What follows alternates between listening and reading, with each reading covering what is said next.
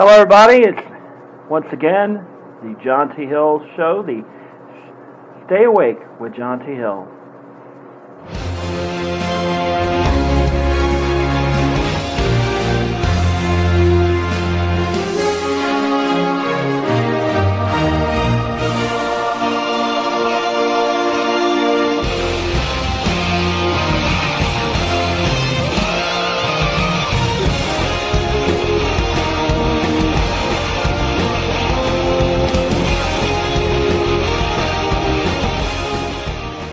All right.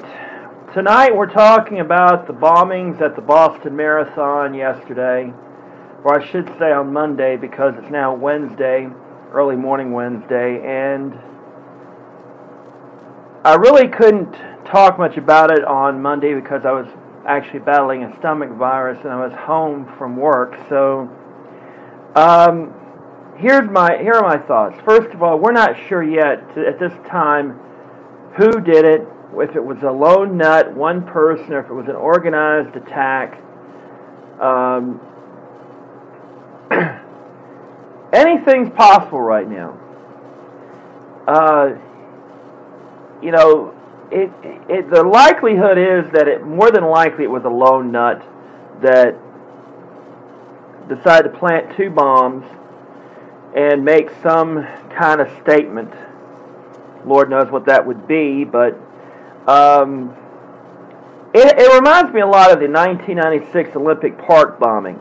If you remember that, it was Eric Rudolph, a right wing nut, who did that, and we all heard all sorts of theories Islamic terrorist. Um, you know, there were a lot of theories. They even had one guy, I can't remember the guy's name, that they practically ran into the ground because they thought this guy had done it.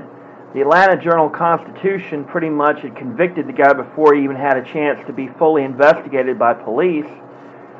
The poor guy eventually wound up dying a few years later because his life was pretty much ruined, even though uh, the evidence pretty much con- concluded that he had nothing to do with it. But woe be it from the media to not go on a witch hunt, which of course they did, and sadly, this could be happening here there were talks of a Saudi national who was uh, arrested, allegedly, or was questioned, or something like that, and apparently that's come to nothing. Apparently they uh, determined that was not part of uh, what happened, or he wasn't a part of what happened. Let's face it. We know that incidents like this are always possible. Frankly, it surprises me that stuff like this doesn't happen more often, especially in wake of the fact that three years ago, in about two weeks, we will have gotten Osama bin Laden. Remember? It's been three years actually. And um, there were so many people who talked about a backlash. Now, I want to stress I'm not saying this is part of it, but think about it. How many places do you know where there are lots of people that gather together where security is minimum at best, if not non existent? Think about it. No matter how tight we make security in this country, if we want to have a free country, we have to inevitably trust ourselves and trust everybody else around us to not do, do us harm. And we run the risk every day if we go out to a shopping mall that's crowded. Who's to say there's not somebody that has a belt bomb that decides that it's time to strike a blow for Allah or God or for some other cause, some other hero or something like that? And it, it's a possibility. We can't live in fear. We know that that possibility is there. So, you know, it, it could possibly happen again. This is something that could inevitably happen at a street festival, at another marathon, at a parade. I was thinking, what if, my God, what if this happens at Dragon Con, at the Dragon Con parade? You have thousands of people lining the street. There's not there are plenty of people with book bags, plenty of people with stuff. None of that stuff is checked. Who's to say somebody wouldn't come along, put something somewhere, walk away, hide it somewhere, and then the next thing you know, boom, boom. Um, it is a possibility. But that's possible no matter where you go. It could happen at your local uh, Christmas parade in a small town. I mean, this this is the reason why, yeah, we have to remain vigilant, but we have to also be realistic. Every time you go to the big stores on Black Friday to go shopping, there is a possibility that somebody may come along and decide, hey, I don't like Christmas because it goes against Islam or goes against my atheism or goes against my uh, whatever, uh, my manifesto against capitalism or whatever, or commercialism, whatever. So I'm going to strike a blow by blowing myself up and making myself an example and killing a bunch of people while I'm at it.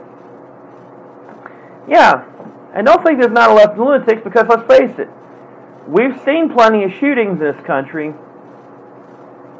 And maybe that's the reason why we've not seen plenty of bombings. But say, why blow up something when you can shoot a bunch of people and not have to kill yourself, you know? Or not have to risk of being detected. You just take a rifle in somewhere and, you know, next thing you know, boom, boom, boom. You made your point.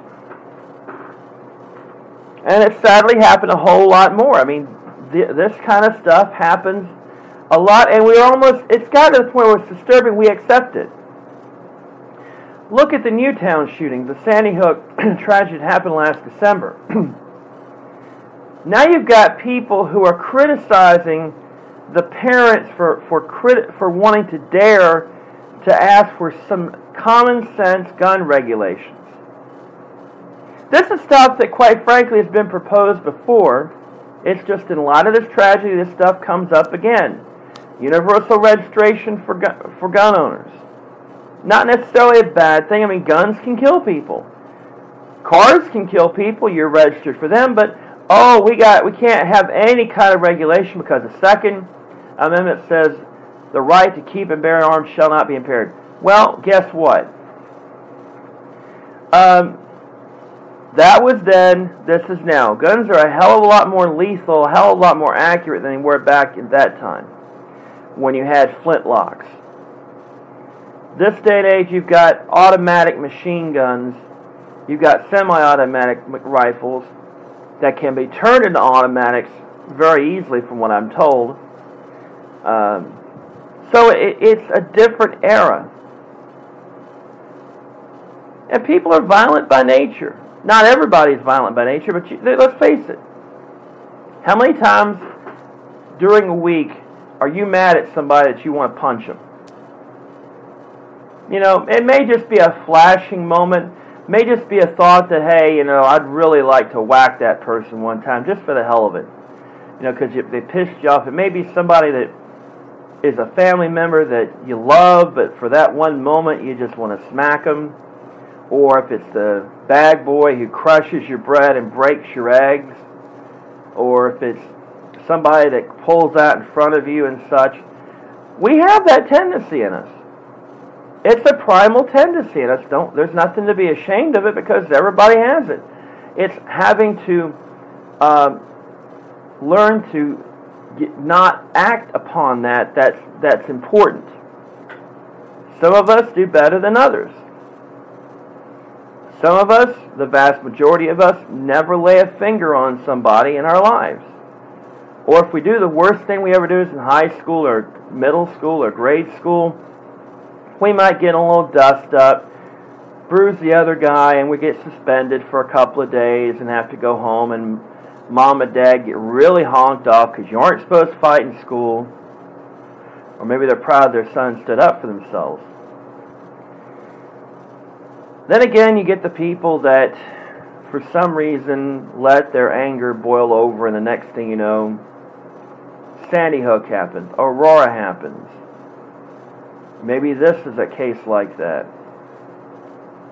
Then again, what if this were a terrorist act? Doesn't necessarily mean it was a foreign terrorist. It could it may not be a Muslim terrorist. Remember, Oklahoma City happened by a domestic terrorist, Timothy McVeigh. This could very well be something like that. We can't jump to conclusions about this. We've got to let the FBI do their investigation. We can't give in to the conspiracy theorists like Alex Jones, the lunatic nut job that he is, blaming the government even before they'd even had a chance to um, bring in any of the FBI. And it's ridiculous when you have lunatics out there that make up these conspiracy theories and people believe them without actually going, you know, maybe the government really isn't after to get us because A, there's 300 million of us and there's not that many of them and, you know, we hate the government, but we think the government can't really do anything right, but yet they want to come after us.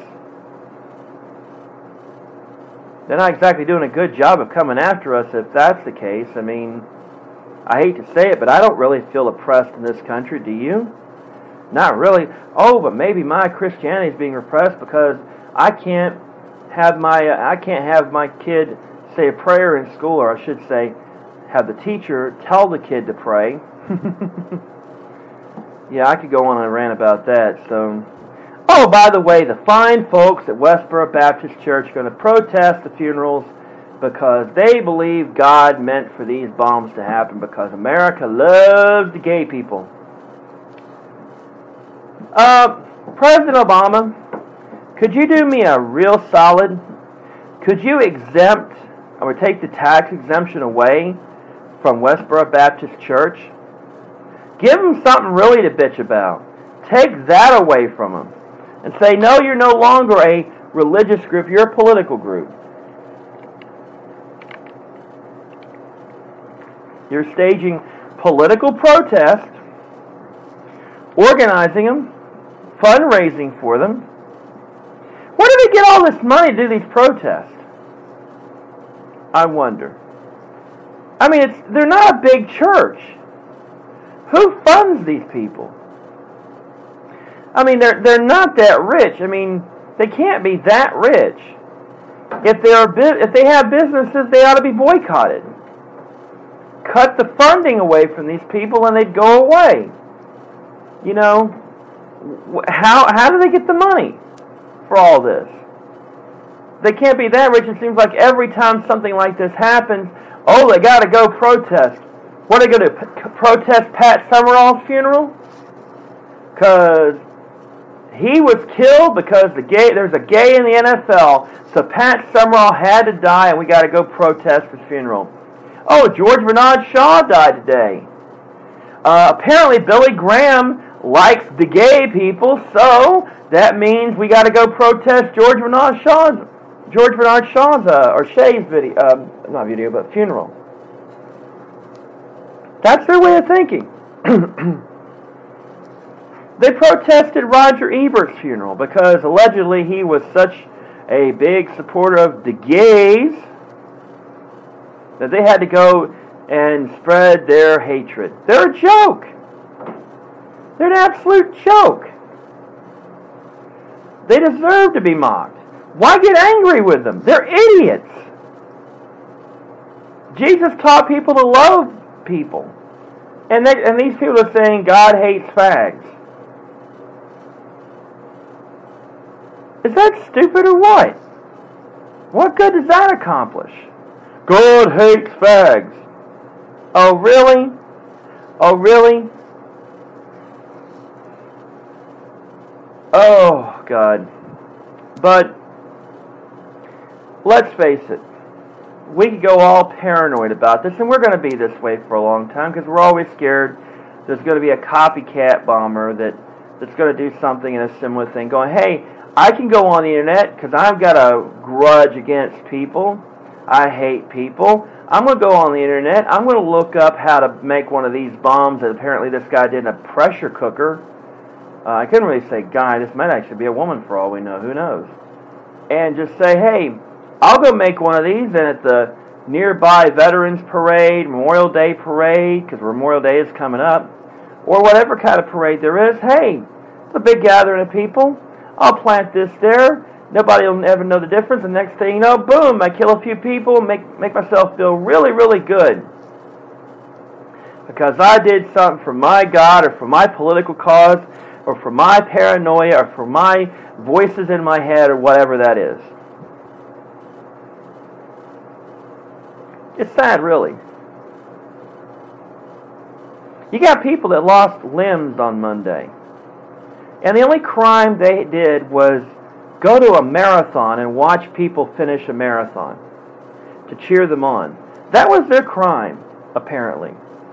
They live in a free country where they can go and, and watch a marathon. An eight year old kid died and that kid's brother lost his legs. The mom has a brain has gotten brain damage apparently from the shrapnel. She may die. The member of the family that survived was a runner in the marathon.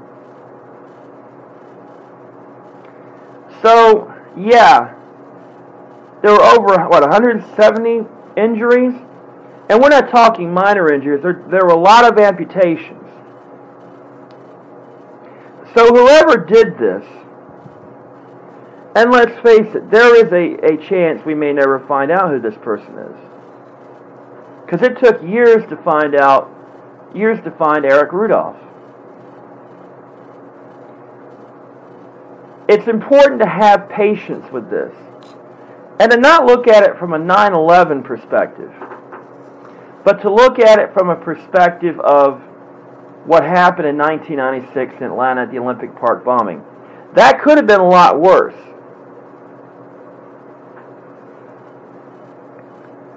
Uh, there, that apparently, from what I understand, there weren't a lot of people around where that backpack was that Eric Rudolph placed there. So luckily, only two people died, and one of them was had died of a heart attack because of it. The other died directly from. I think it was a young woman died directly from the bombing itself. But thankfully, that was there weren't that many injuries, from what I understand. But it could have been a lot worse.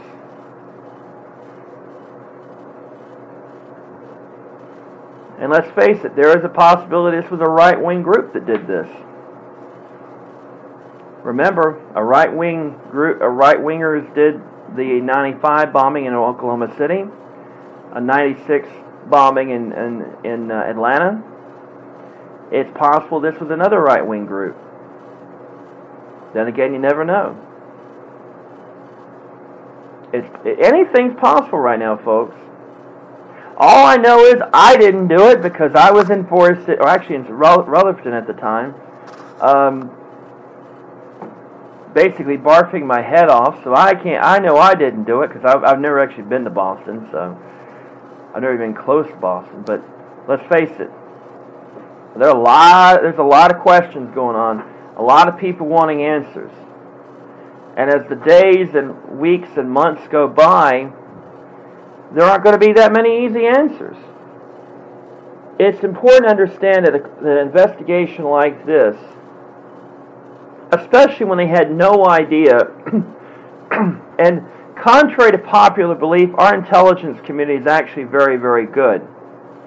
Now, granted, they don't always communicate well with each other, but generally they're very, very good. And they didn't hear anything about a possible attack. So this leads me to believe it was a lone nut job that did this. Or perhaps two or maybe a small group of people that coordinated this. Now, there's been, there's been this picture floating around the internet about the guy on top of the roof. And there is a possibility this person may have been involved. But an even stronger possibility exists this person may just very well have been someone watching the marathon, or may have been somebody that heard the explosion looked out a window, couldn't see what was going on, went to the roof of the building and looked down and saw what was going on. I would venture to guess this person's already been talked to by the police and or the FBI And more likely than not, this person may not even have been involved. Because who's to say there weren't other people on other tops of other buildings? So it's important not to jump to conclusions. So, right now, right now, we're all scared. We're not scared that we're scared of what might happen in the next few days, few weeks when large public gatherings happen again in areas that aren't as secure as, say, a football stadium or a baseball stadium or a basketball arena. Um, this past Friday, I was in both the um, Asheville Mall and the uh, what's the other one they've got there? I can't think of it. It's the other big mall they've got. The not built. I think it's Biltmore Mall or something like that. I can't remember what the name of it is. But it's the other mall they've got in Asheville, the one that's not as good. But there were plenty of people in Asheville Mall. It wasn't crowded, crowded, but it was fairly decently busy. All right?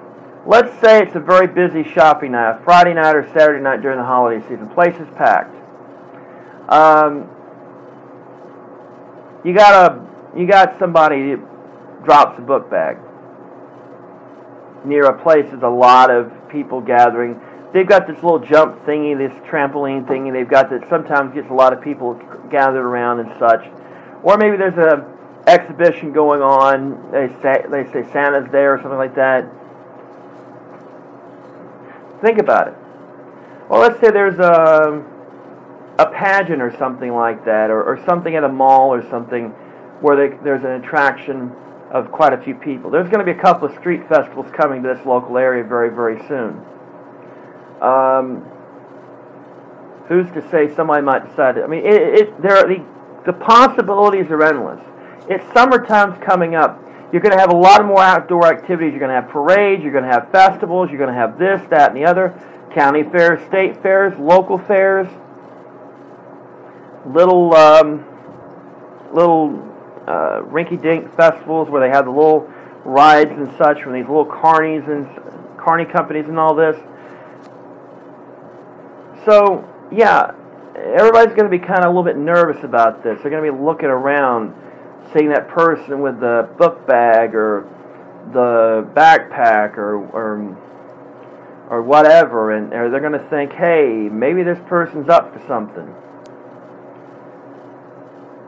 And more often than not, that person's not doing anything, but you never know in this day and age. And that's the sad part about it. That's the world we live in post 9 11. But we've always had this threat. It's, not, it's nothing unusual. Look at what happened to Kennedy. It was, it was a, you know, if you've ever known, if you've ever heard how the president, when the president's there coming in, uh, to a particular, let's say he's visiting Asheville. They're going to do a thorough check of the entire route. They're going to make sure every possible potential area for an assassin to strike is taken out. I mean, it's, it's covered, it's checked, and everything. But it's not perfect. I mean, if somebody really wanted to, if they had a rocket propelled grenade and they had the capability of getting it to where they wanted to in an area where that wasn't checked, it's a possibility. Look at this past January. You had the inauguration. Hundreds of thousands of people attended. There's a possibility there. It could always happen. You never know. That's what freedom's all about. There's the risk that something like this could happen.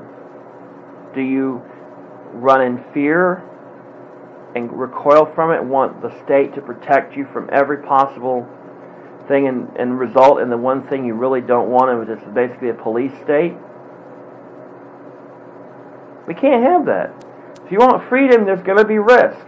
And that risk is finding out that a lunatic is just taking your life because A, he's either shot you in the head or killed you in some other way with a gun, or B, he's blown you up. But there's always a risk you to walk out in front of a bus tomorrow.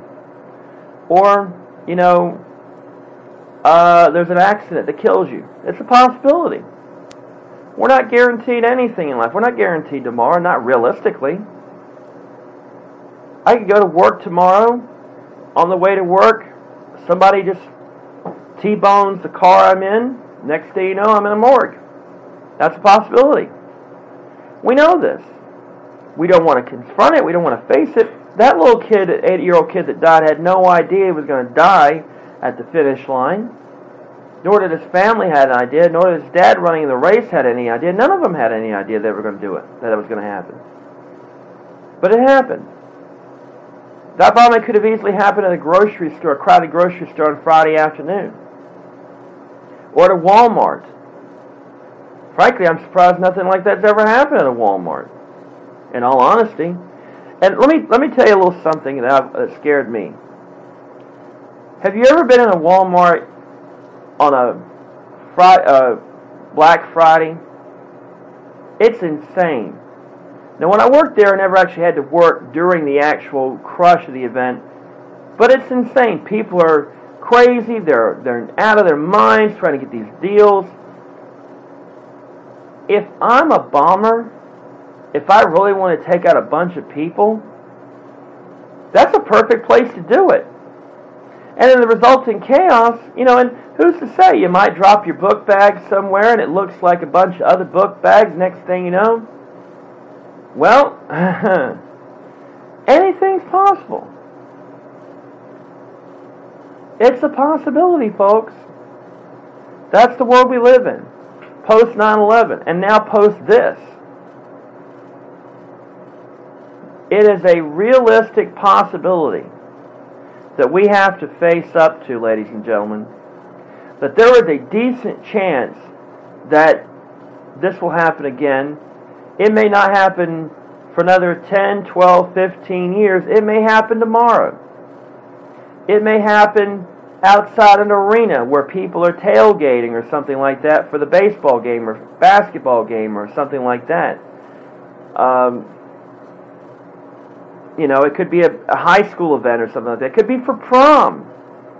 You know, let's say some kid decide and some two a kid decides to go to a prom with his date, and they're both, let's say, really, really religious and they say, they see all the inequities and, and the sin and all that, so they decide, hey, I'm going to strike a blow for Jesus and I'm going to kill myself or amongst all these people who are committing sin by fornicating on prom night.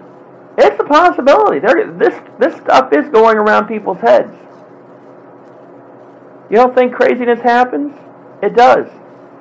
But we have to be vigilant. We have to be ready. We have to keep our eyes and ears open because you never know. And yeah, it's not it's not a police state if you're a concerned citizen and you see something or hear something or find out something that could potentially result in something like this. It's your civic duty to, to stop it. Well, folks, that's all for tonight. Let's pray for the victims of this attack, both those who've lost their lives and also those who've been hurt as well as the families. And you know, even if the person didn't have people that didn't have physical injuries, there's going to be a lot of mental trauma from this. And let's pray for those people too.